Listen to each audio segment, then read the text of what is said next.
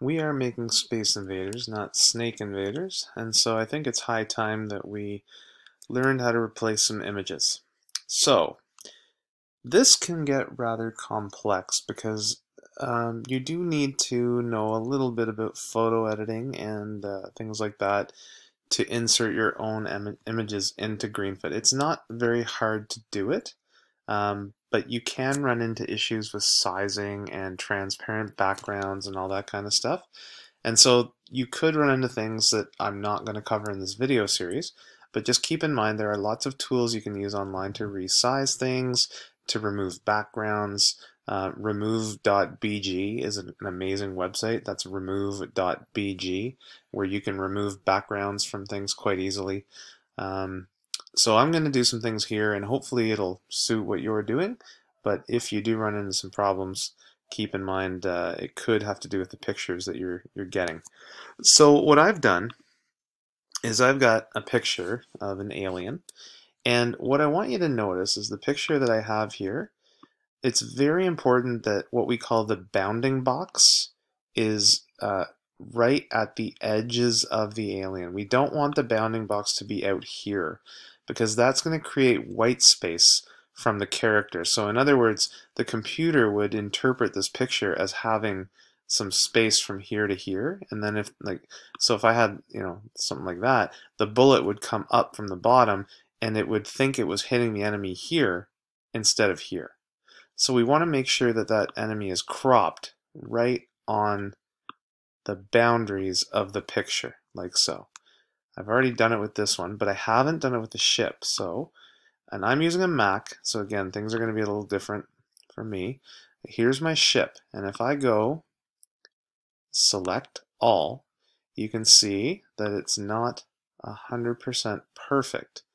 You can see there's a little bit of space around there, so I'm going to adjust that border. There's probably an even better way to do it using a better photo editing program, but this is just a quick way to to do it and I'm going to say okay crop. And so now it crops it so that I only have the picture is only that rectangle and there's no white space in there at all and that should be good. So I have my pictures. The other thing you have to keep in mind is the pictures that you download they have to be in the right place. So my folder, Space Invaders, this is where all of my games, or all of the stuff for my Space Invaders of the game, and there's quite a bit in there now. You'll notice that bullet, counter, enemy, all that stuff is in here. And I have an images folder. You have to have the pictures you're going to use in the images folder.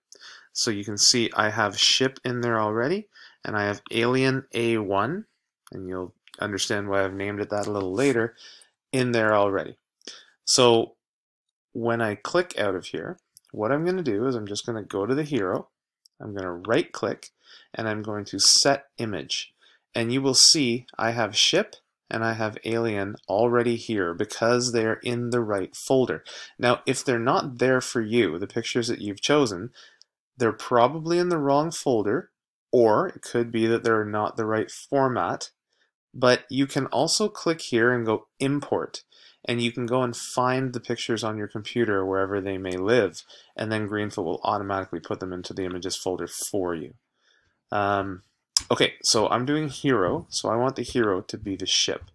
So I hit OK, and now you can see the hero is now the ship. And I'm going to do the same thing with the enemy. I'm going to right click, set image, alien A1, and now you can see the enemy is that alien. Now they haven't changed here yet because I haven't hit reset. So I'm going to hit reset now and it's not going to look the way we want, but that's okay. Here we go. Okay, so everything's too big, and that's because my images are fairly big, but I'm going to do the scaling in my code. Okay, I'm not going to go back into you know Photoshop or in my case preview and try to do it there. I'm going to do it in here. So in the hero, the hero has an act method. And I've talked about this before in other videos, but the act method, it runs again and again and again and again, kind of infinitely as long as the game is being played. But I can also create what's called a constructor. And the way I do that is I type the word public, and then I mimic the exact name of the class, in this case hero, and I put two brackets, and anything I put in here, in these two brackets, will happen as soon as the hero is created. And what I want to do is I want to take the image of the hero, and I want to scale it. And I want to make it a certain size. I'm not exactly sure what size I want to make this. Let's just try 30 wide by 20 high, and that could be wrong. Try 25. It was kind of square. Well, I don't know. Let's try it and see what happens. So I'm going to now go back to my code, and you can see, hey, that looks pretty good actually. So it's scaled. Perfect. No problem. And what I can do now that I've done that for the hero is I can go back, copy that code, go to the enemy, and do the exact same thing. And change this to enemy. So this is the constructor for the enemy. And I want the enemies, I think, to be a little bigger. So maybe I'll go 40 and 30. I'm not sure if that'll work. Yeah, that's not too bad, actually. And so now my game works the exact same way. All I've done is replace the images. And that's why I was never worried about the images before, because I knew that replacing them is really not so difficult. And so you can see the game works the exact same way. Um, and now what I can do is I can get some more enemies. We can put different enemies on there. And I can really replace anything I like. Now while we're having all this fun putting images into our game, we can also put sound into our game quite easily. So when I went into my folder and took a look at all of the files that make up my game, we've looked at images, but the other folder here is sounds. Now if I double click, you'll see it's empty. And I happen to have a uh, sound file that's called Pew. You can see it right here. And what it does is it makes the sound of um, kind of that old school Space Invaders sound of uh, shooting. So the enemy shoots a bullet and it makes a little pew sound. And what I want to do is I want to make it so my game makes that sound every time we shoot. So again, I have to think where does that happen? So that happens when I hit the space bar on the enemy, or the hero, sorry, the hero.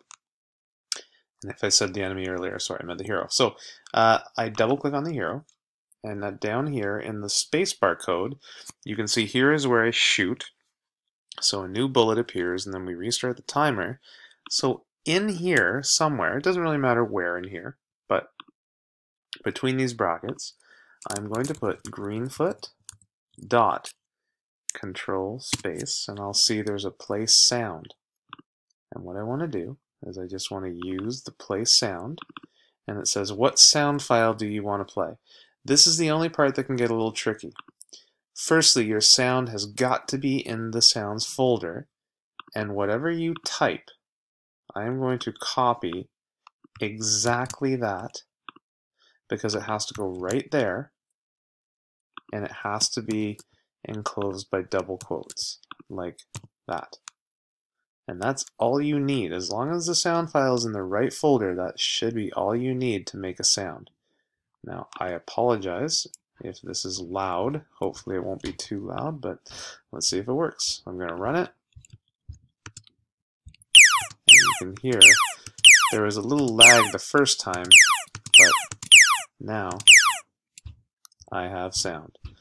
So just that easily, with the Greenfoot Play Sound method, it's very simple to add sounds to your game as well.